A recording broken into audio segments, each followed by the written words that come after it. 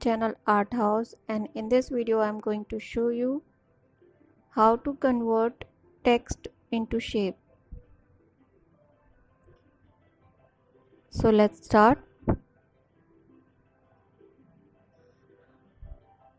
I will convert this text into shape. Select. Right click. Create outline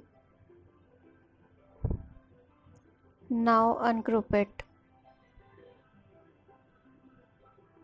Now you can select every letter separately. Go to direct selection tool.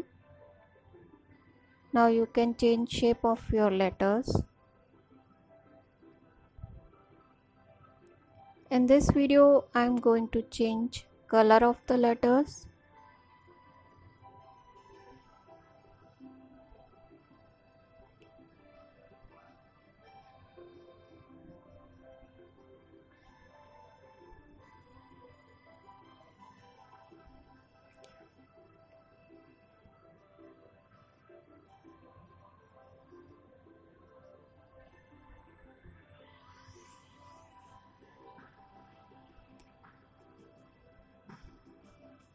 size of the letters and placement of the letters.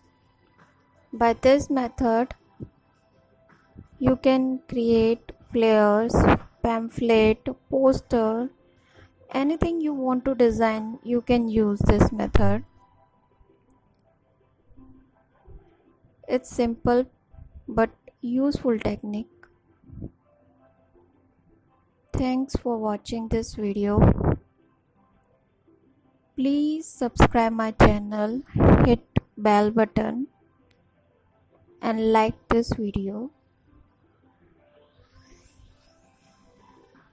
I will upload more videos which will be helpful to learn designing softwares.